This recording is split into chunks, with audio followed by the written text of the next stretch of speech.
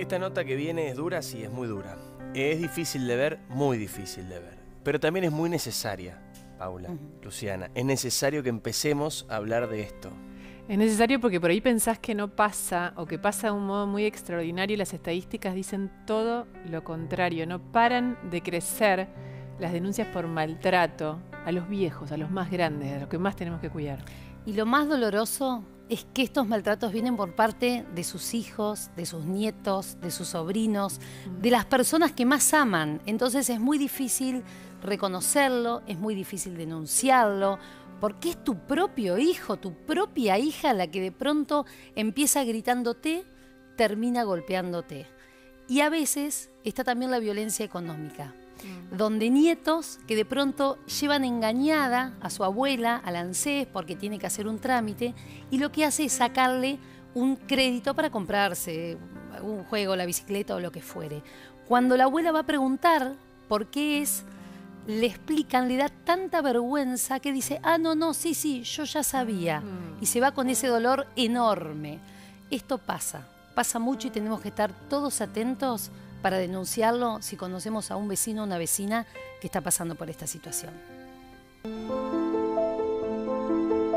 Es un delito que está que es invisible, que es oculto. Cuando me encuentro con alguien, comenzamos a hablar de este tema, me miran abriendo los ojos grandes, eso existe, eso es verdad, ocurre. Una persona mayor que no es abogada no sabe que se está configurando un delito. Sabe que una de las personas más queridas en la vida por ella la está maltratando, denigrando, hostigando todos los días de su vida.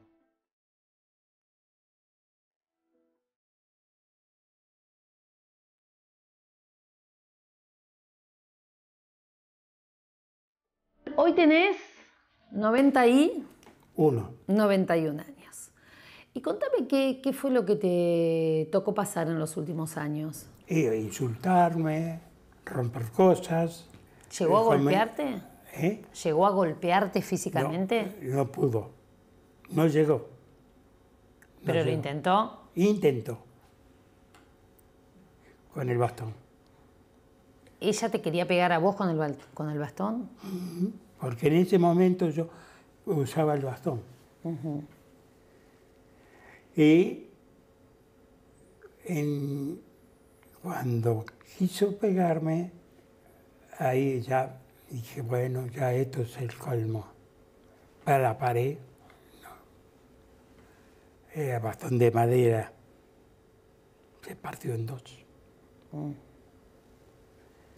¿Contra qué lo, lo golpeó? Al, que- al quererme golpear, se partió. el- el- entonces dije, bueno, esto se acabó. cómo alguien le va a hacer mal al padre, a la madre, a quien, eh, con quien le está cuidando, a alguien que está tan débil. Y, y esa es la realidad del abuso y maltrato, que, que es difícil eh, verlo. La mayoría de los casos es un hijo, este, una hija, una sobrina, una persona muy allegada. Ahí se producen situaciones de conflicto serias que derivan necesariamente en casi todos los casos en violencia, en abuso, en maltrato, de diversa índole. Por lo general es cuando una, una situación llegó a un límite. Y ese límite suele ser con un golpe, una caída, una intervención de la policía, llaman los vecinos. Eso, ahí nace nuestra intervención. Cuando el equipo interdisciplinario, porque todos estos casos se trabajan con equipos interdisciplinarios, son abogadas, abogados, trabajador social, psicólogo, psicóloga, eh, cuando empiezan a abordar el caso, se dan cuenta que es algo que viene de, de muy larga data y aparecen otros tipos de abuso y maltrato, y que generalmente es lo que predomina, sobre todo el psicológico y el abuso financiero, que termina apareciendo. Cuando uno empieza a hablar la situación, se da cuenta que de años ya comenzó con un abuso financiero. ¿Y qué pensabas vos en ese momento? No sé, cuando te ibas a dormir, ¿te sentías seguro? ¿Qué? Pues muchos ¿Seguro? tres años. No. Inseguro. Porque yo tenía miedo de un once piso que se podía tirar en cualquier momento. Y era a la calle. ¿Tenías más miedo por ella que por vos? Sí. Porque me podía ver irnos los dos para sujetarla. Claro. Y yo aguantando, conteniendo. ¿Mm? Qué difícil, porque que era todo el día tenías que convivir con ella. Esto fue durante la pandemia, estaba las 24 horas con ella. Todo el día. Y un día dije, bueno, esto no puede ser. Entonces decidí y hablé con la persona indicada para que, a ver cómo podía ser yo. Esto no es magia, no se termina con una denuncia o con intervención judicial. Necesita un montón de otras herramientas para poder reencontrarse con, la vida, reencontrarse con lo positivo. Y esto también tiene que ver, eh, nada, trabajar con la salud, por ejemplo, con la vivienda, con el cobro de haberes. Las madres y los padres que no denuncian a los hijos no los denuncian por amor, porque les da mucha vergüenza, se sienten, sienten más violencia a ellos de denunciar a su hijo que la violencia que infligen sobre ellos los hijos cuando los golpean. Y normalmente denuncian cuando ya no queda otra salida, cuando ya sienten que los van a matar. ¿Cuánto tiempo estuviste acá? Y acá estuve eh, un año y cuatro meses. Gracias a ellos,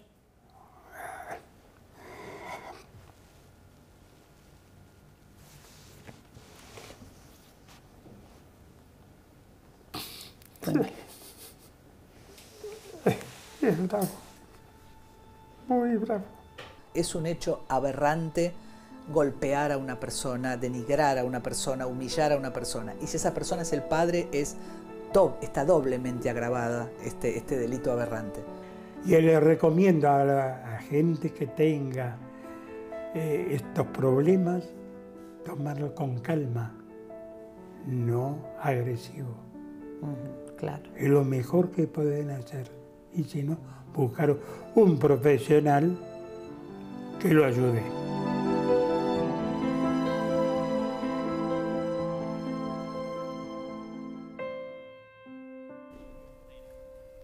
Consejo del final de José, que no se llama José, tenemos que cuidarlo a él también en esto, para que nadie sepa su nombre, porque está sufriendo un montón. Pero él dice algo que es tan importante que es busca ayuda, no, no te dejes maltratar.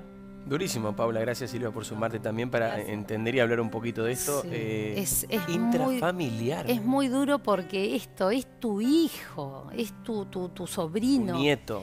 Y la verdad, o tu nieto, todas las madres damos cualquier cosa a los Ah, padres por, por sus hijos, ¿no? Y entonces recibir esto en la etapa por ahí de mayor vulnerabilidad. eh, y es un tema que las políticas públicas tienen que ocuparse. Sí. Prácticamente, excepto en la ciudad de Buenos Aires, donde existe el programa Proteger, donde realmente tiene refugios para las personas mayores que son maltratadas, no hay demasiados, no hay lugares que los puedan contener cuando van a denunciar. Entonces es importante que empecemos a ver desde la política pública también esto, para encontrar un lugar de contención y de acompañamiento. y además, una, una cosita, no, creo que a veces no tomamos dimensión de la enorme cantidad de infiernos que se dieron con la pandemia y el encierro. Y esta estadística que estamos mostrando te dice eso, que en ese encierro la gente quedó viviendo junta, hijos con padres, y pasaron cosas como esta. Bueno, claramente Silvia, se ve, muchas gracias, que de un año para otro hubo un 35% más de denuncias. Un montón. Y lo terrible es que 5 de 10 eran familiares cercanos.